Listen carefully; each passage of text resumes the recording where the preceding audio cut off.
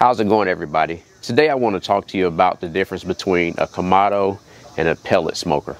Behind me you'll notice two different units. One is a Kamado Joe 3 Classic Griller Smoker and the other is a Yoder Smoker, Yoder Smokers YS640S. So I've gotten a ton of questions over the last year or so as to why I own uh, more than one unit.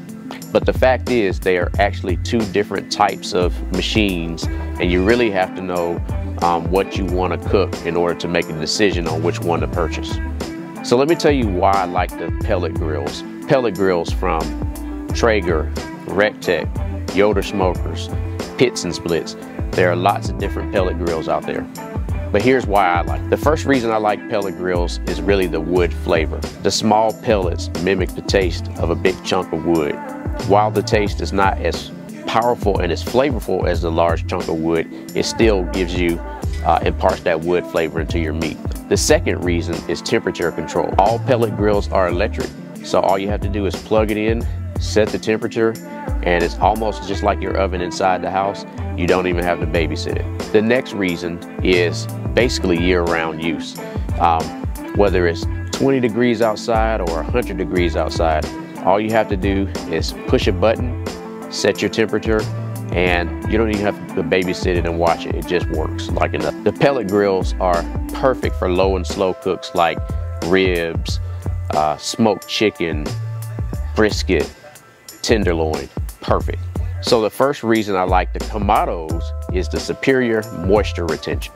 The thick ceramic allows you to maintain the moisture in the meat without needing to use a water pan. The next reason I like the Kamado is really it is an excellent combination of low and slow temps as well as high grilling temps.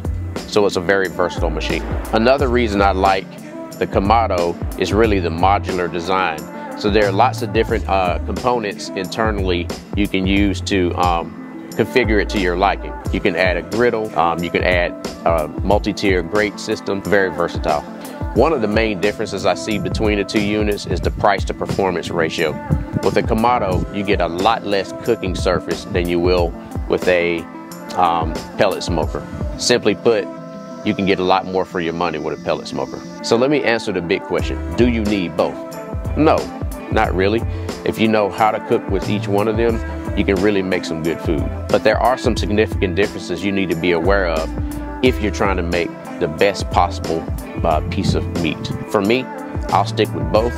I like to do high temp cooking, whether it be steaks, hamburgers, hot dogs, and the Kamado is perfect for that. But I also like to do long, low and slow cooks. And I don't have a lot of time to spend when I'm making, when I'm cooking. So for me, pellet grills are perfect. If you're new to pellet grills, um, I would check out Pit Boss. You can get those at Academy Sports. If you're more advanced and you understand the differences out there, then you could upgrade to the larger uh, Traegers, also Yoder smokers, as well as Pitts and Spitts. Those are all fantastic smokers. If you have any questions, please hit me up. I'll do my best to help you uh, get those answered. In short, both of these are great units. They both have their strengths and weaknesses. I prefer to because I like to cook a variety of foods. Um, but simply put, you know, you can go at one and be just fine. Since we're still here, how does the Kamado compare to a regular charcoal grill? If you own a Weber kettle, it can cook food just as good as a Kamado. But the major difference is really the thickness of the outside shell. Kamados allow you to really lock in moisture into your meat. And in my opinion, in my observation, food comes out infinitely more juicy than it does on a charcoal grill. But if all you're interested in is making a hamburger or steak from time to time, it's not worth spending your money on a Kamado. So thanks everyone. Hopefully you enjoyed the video. Again, please hit me up if you have any questions. I'll do my best to help you answer those. Thanks and have a nice day.